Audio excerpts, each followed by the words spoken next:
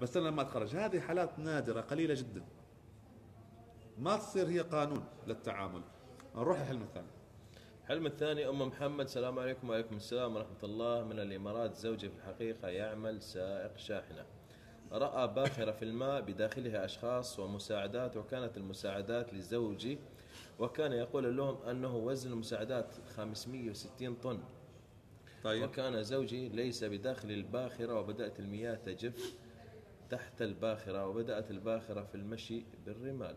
أها بس. هاي سفينة نوح. هاي معناتها الله ينجيه هو ومن حوله من هم عظيم لأنها مشت على الرمال وما- وشالت المساعدات اللي له فيها آه. 560 طن وهو ليس بداخل ال- الباخرة. خلينا نشوف 560 هذا خبروه ينوي الحج أو يحج إذا بعد ما حج. إذا نوى الحج أو العمرة أو أو سواها يأتي بعدها آه، تيسير ومساعدة له ويعينه الله سبحانه وتعالى قضاء حاجاته مهما صعبت. ينوي أنا ما قلت يروح. يمكن ما يقدر يروح بس ينوي يحط في قلبه يا رب لو يسرت لي ذلك لأكونن من عبادك الصالحين. إيهاب